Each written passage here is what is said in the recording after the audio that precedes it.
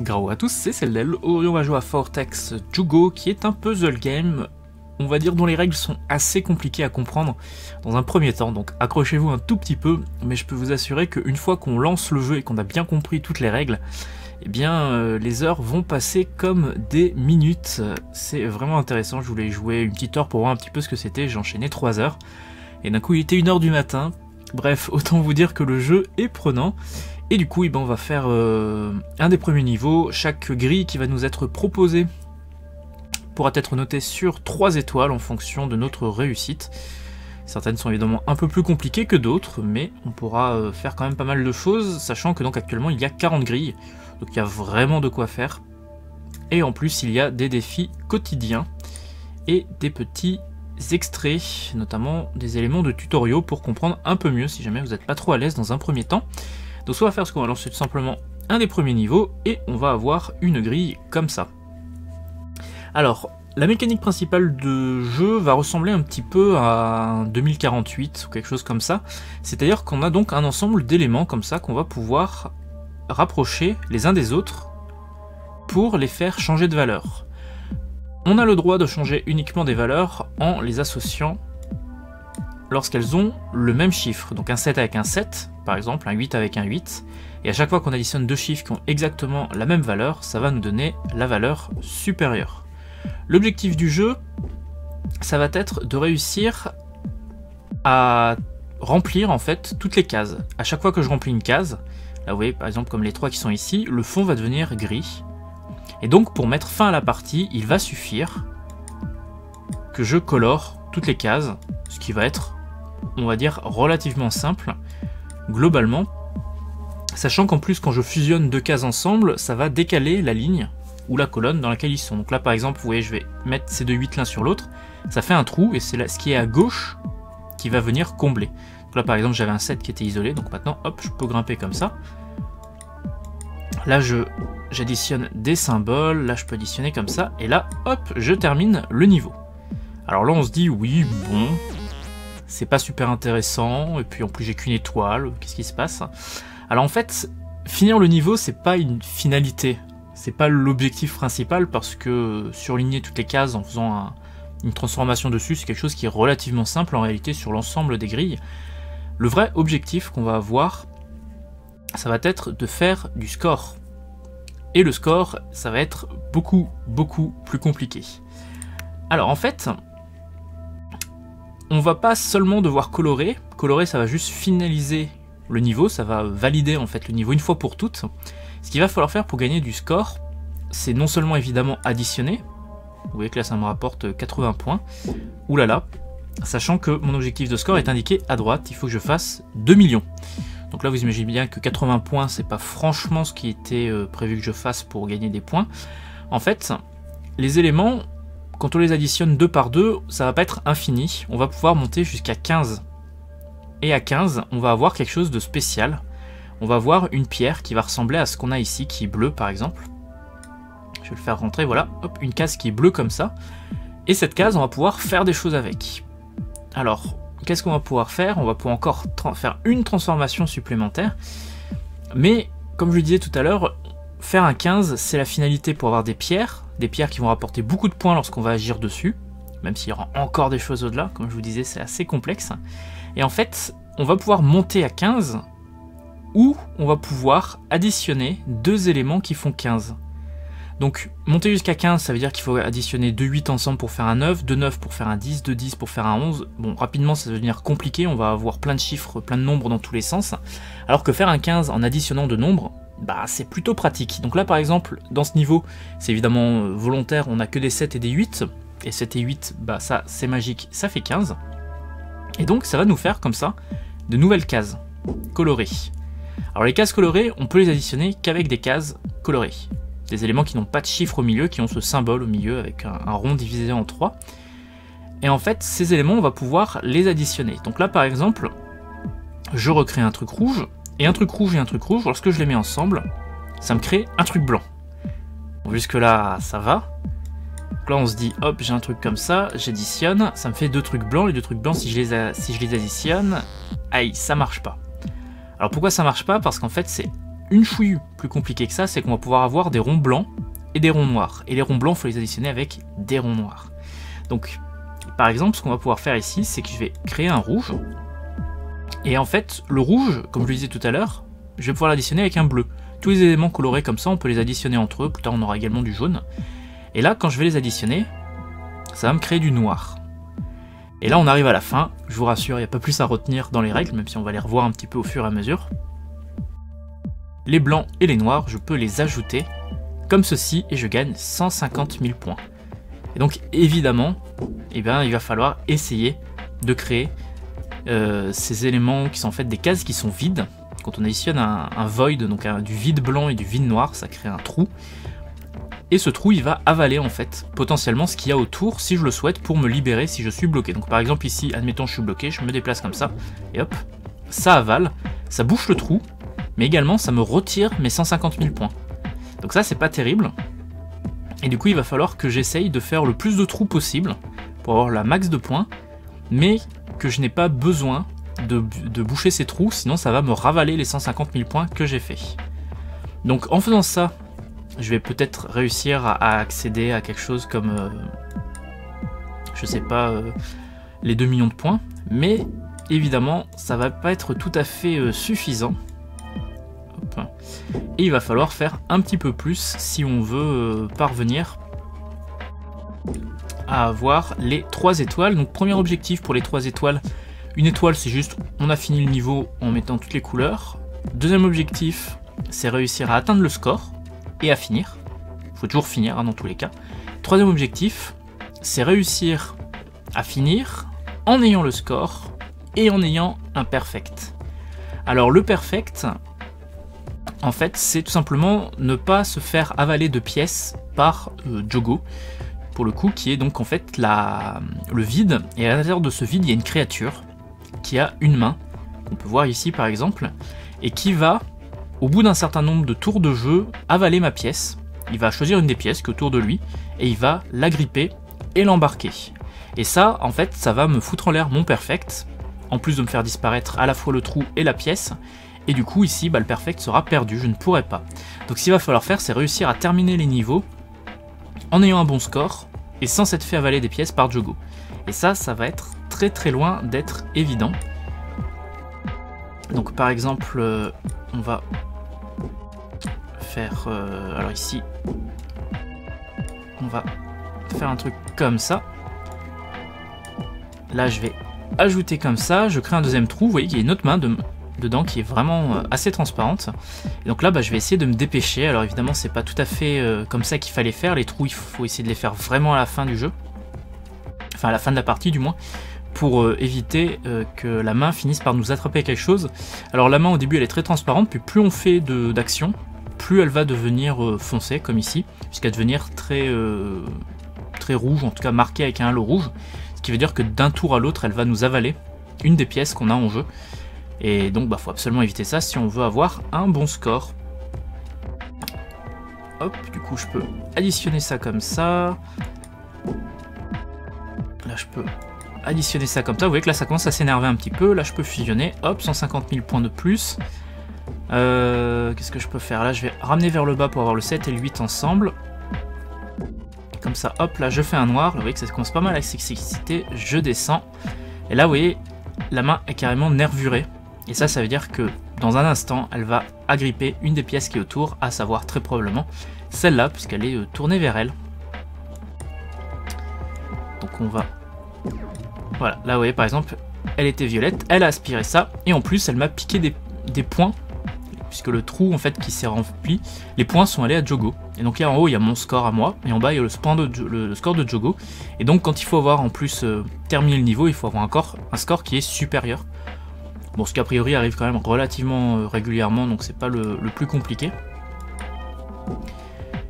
Hop, et donc là vous avez l'essentiel des règles. Alors encore une fois, je sais comme ça, c'est un peu obscur, et les règles sont pas évidentes à apprendre, et surtout à comprendre quand on doit les apprendre toutes seules. Mais je vous assure qu'une fois qu'on comprend un peu les, mécaniques principales, je vais recommencer, et ben le jeu devient vachement intéressant. Et ça a vraiment été une très bonne surprise. Donc par exemple, ce qu'on peut faire, si on veut un peu préparer le terrain de ce niveau, c'est quelque chose comme ça. Là, vous voyez, je fais plein de, trucs rouges en faisant mes additions 7 plus 8 égale 15. Je laisse un peu des bleus arriver euh, pour permettre quand même d'avoir des éléments noirs en fusionnant ceux qui sont différents. Donc je rappelle, je fusionne deux trucs identiques en couleur, ça me fait un blanc. J'en fusionne deux différents, ça me fait un noir. Donc ça, on va le faire un peu. Les éléments donc sont probablement infinis sur les bords, mais ce sont toujours les mêmes, ils ne sont pas générés procéduralement. Donc d'une partie sur l'autre, on aura toujours la même euh, catégorie d'évolution, on va dire. Euh, donc là, si je veux rapprocher un peu du noir, je peux faire comme ça. Voilà. Là, il faut que je fasse attention parce que si je fais encore 3 destructions sur les 3 cases blanches, je termine le niveau. Hein. Je veux pas encore terminer le niveau, pas tout de suite. Donc bah là, on va, hop, comme ça, créer un peu des éléments noirs. Pour le moment. Donc pour le moment, j'ai pas créé de Jogo, donc je suis encore relativement libre. là, je vais faire ça comme ça. Là, j'ai plus qu'une case à faire pour terminer, donc je fais très attention. Là, je vais créer quelques blancs. Euh, sachant que, hop, je vais le faire comme ça. Et comme ça.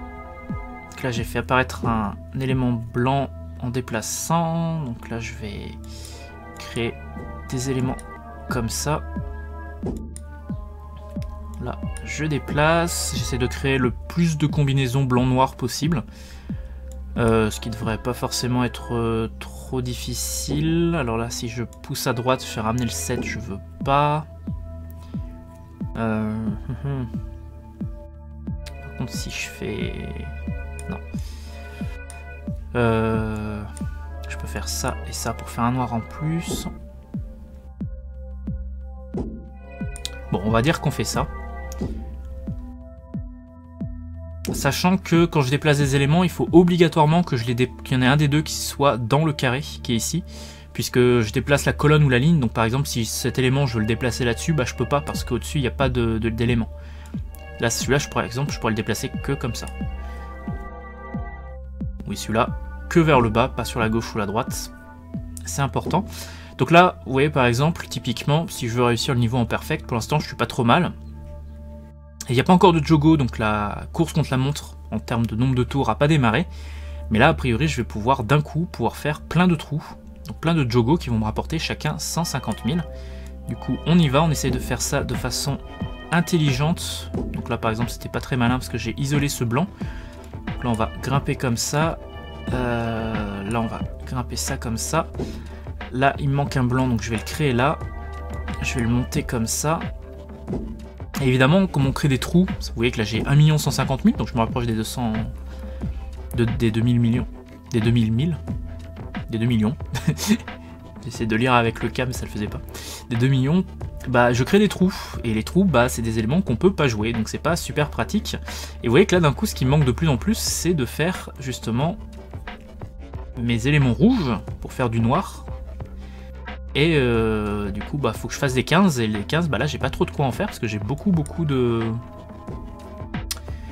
d'éléments bleus qui me bouchent un peu tout. Donc j'ai beau euh, les ajouter comme ça. Là, par exemple, si je voulais terminer, je pourrais fusionner comme ça.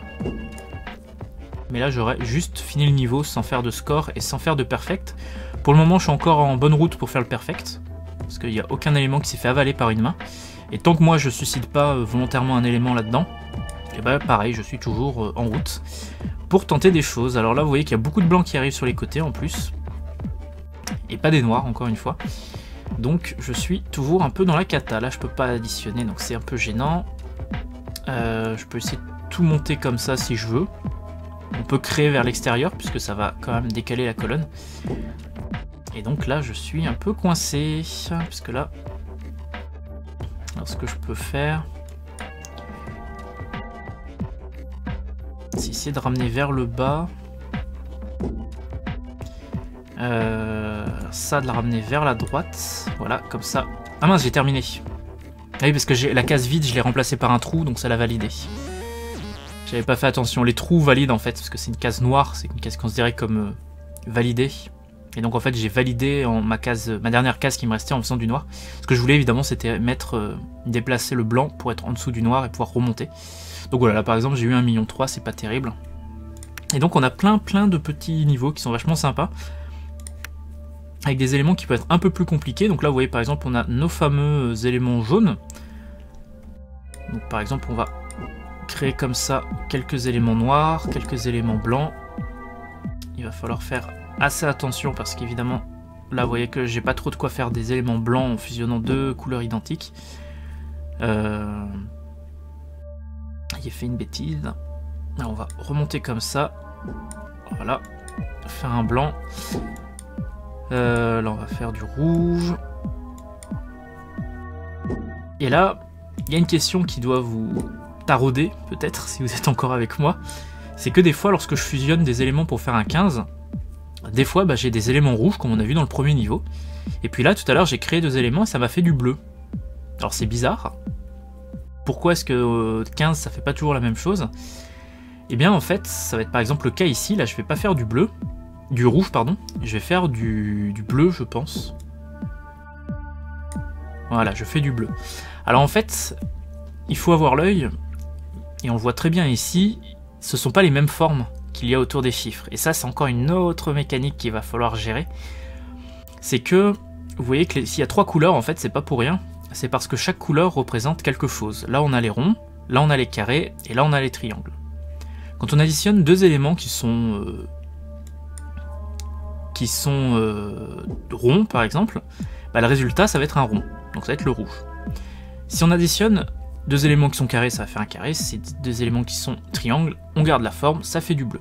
Par contre, si on fusionne deux éléments qui ont une forme qui est différente, on va avoir le troisième élément. Si je fusionne par exemple un rond et un triangle, avec des chiffres au milieu, vu que c'est quelque chose de différent, ça va me faire le troisième. Si je fusionne un carré et un rond, ça me fait un triangle. Si je fusionne un triangle et un carré, ça va me faire un rond. Ça c'est encore une mécanique en plus qui sera pas utile dans tous les niveaux parce qu'il y a certains niveaux où les formes sont pas du tout euh, présentes, on a que des ronds, comme tout à l'heure on avait par exemple dans le niveau dans lequel je vous ai expliqué un peu les règles du jeu. Et euh, du coup bah il va falloir un peu euh, lentement mais sûrement essayer un petit peu de manipuler tout ça et c'est pas évident. Hein. C'est pas évident du tout, mais ça reste super intéressant. Donc parce que du coup là par exemple j'aimerais bien faire un, rond rouge, mais bah, on voit bien que si là je fusionne c'est bon, je vais avoir... Ah si c'est bon ça me fait un 8, et là, hop, ça me fait un rond rouge. Sachant que l'addition des nombres, enfin l'addition, euh, l'augmentation quand je mets deux 7 ensemble, ça me fait un 8, a la même règle avec ce qui les entoure.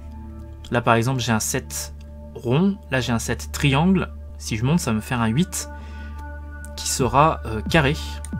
Voilà, puisque la forme était inversée. Donc il y a deux choses à prendre en compte quand on, on fusionne quelque chose pour avoir le résultat. C'est loin d'être évident, mais une fois qu'on le maîtrise, je vous assure, ça donne une dimension au jeu qui est juste géniale. Euh, là, ça devient compliqué. Si je fusionne, ça va me faire un rond rouge. Et là, vous voyez, ça devient un peu compliqué au niveau des chiffres. J'ai plein de nouvelles choses qui arrivent, parce qu'évidemment, on peut avoir tous les chiffres de 1 à 14. Et naturellement, bah, là, on additionne des 7 et des 8 pour faire des 15 depuis tout à l'heure, mais on peut additionner deux 14 qui vont étant le même chiffre, augmenter pour donner 15, ou alors on peut augmenter n'importe quoi dont la somme fait 15. Hein. On peut très bien ajouter un 10 à un 5 pour faire 15, un 2 et un 13, un 11 et un 4, n'importe. Tant que ça fait 15, on a le droit. Tant que les deux chiffres sont identiques, on a le droit. Et du coup, bah là, on va euh, faire des choses. Donc là, je peux monter, monter. Lui, je peux le mettre là. Lui, je peux le mettre là. Il faudrait absolument que j'ai un autre blanc par là. Allez, on va tenter, il faut que je fasse un million ici, c'est beaucoup moins difficile que l'autre niveau. Donc bah on va, on va tenter tout ça. Donc première chose à faire c'est ça pour pas tout décaler, puis c'est ça, puis c'est ça, ça. Euh, maintenant il me faudrait des trucs blancs. Euh, sachant qu'on a des aides hein, également, si on sait pas quoi faire, on peut voir. Donc là on nous suggère de, si on ne sait pas quoi faire, de sacrifier une pièce en la mettant dans le Jogo, ce qu'on va pas faire. Ici, on me, suggère de fusionner ces deux pièces. On me suggère de faire l'inverse. On me suggère de suicider des pièces. Donc chaque fois que la main est verte, c'est qu'on me propose de jeter une pièce dedans pour euh, me débloquer. Ce que je vais pas faire, là par exemple, on me propose de faire ça aussi, ou l'inverse, ou de fusionner des 7. Ce qui m'intéresse pas trop trop. Hein. Euh, alors je peux faire ça par exemple, comme ça là, j'ai un 13. Là par exemple j'ai 2 13, donc je vais pouvoir faire un 14. Et si j'avais le 1 qui était accessible, qui était juste à côté, je pourrais l'ajouter là.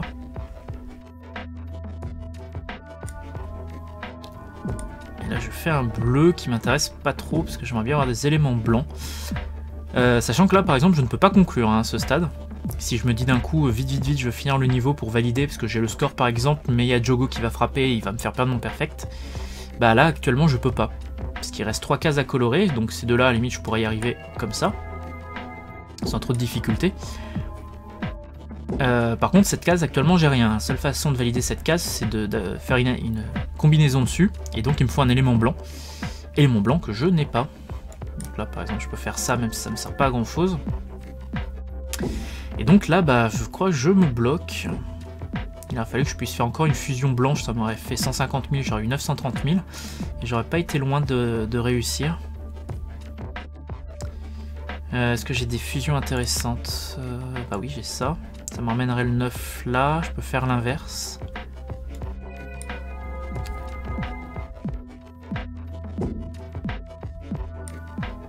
Mais le 8 là, il me sert pas à grand chose. Il me propose du suicide. Ah, là, je peux faire un 15 dans un sens ou dans l'autre. Il me propose du suicide. j'ai pas trop le choix. Alors je peux tirer vers le bas. Par exemple, ça peut être intéressant pour les, avoir les 7 et plus tard les 8, mais là en fait non pas trop.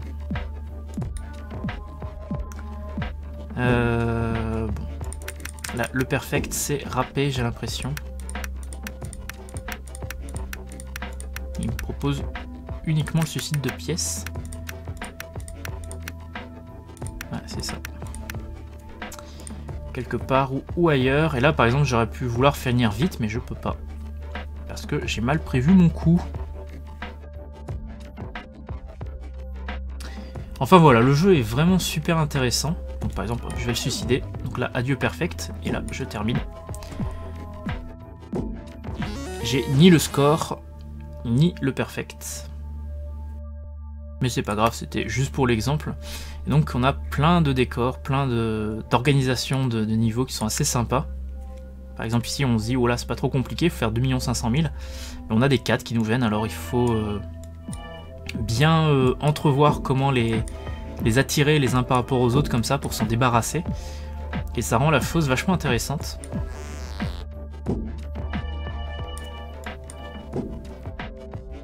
Là, par exemple, j'ai bloquer les deux neufs, je les ai séparés, il y a des façons de faire euh, pour que ça arrive pas, mais je me suis planté.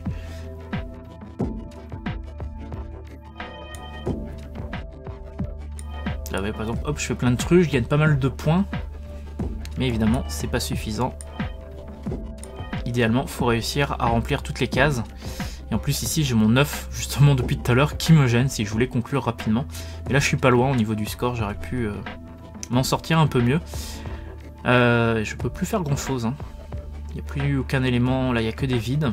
Donc il n'y a que le 5, là il n'y a que le 9 et là il n'y a que le 9.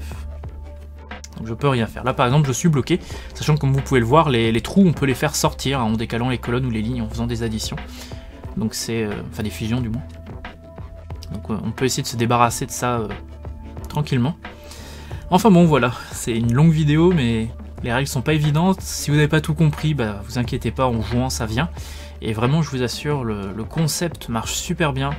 Même si au début on patauge un peu à comprendre des détails, notamment l'histoire des formes ou des, couleurs à additionner, c'est pas clair clair dans un premier temps. Mais euh, une fois qu'on a compris, qu'on essaye de faire les niveaux en différents modes de difficulté, c'est vraiment super intéressant.